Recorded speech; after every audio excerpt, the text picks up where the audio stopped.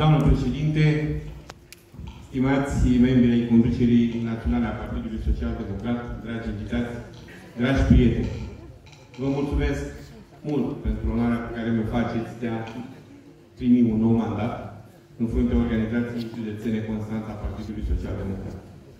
Un nou mandat care este onorant, dar care mă obligă la multă muncă, ne obligă pe toți, ca împreună,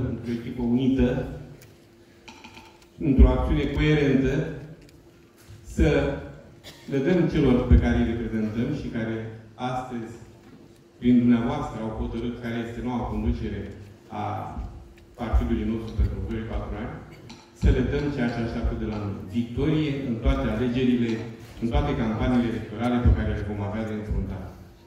Și primul semnal pe care trebuie să-l dăm este să câștigăm alegerile prezențiale, la Constanța să obținem un număr de voturi zdrobitori, zdrobitor vis-a-vis de uh, adversarii noștri uh, în această campanie, astfel încât prin numărul de voturi pe care le vom obține să contribuim în, în mod decisiv la desemnarea doamnei prim-ministru, președinte a Partidului Social Democrat, ca președinte al României. Așa să ne ajute Dumnezeu. Vă mulțumesc încă o dată. Declar închise lucrările conferinței județene. Vă mulțumesc pentru participare și de mâine din zori intrăm în campanie mai hotărâți ca niciodată. Doamne ajută! Vă mulțumim!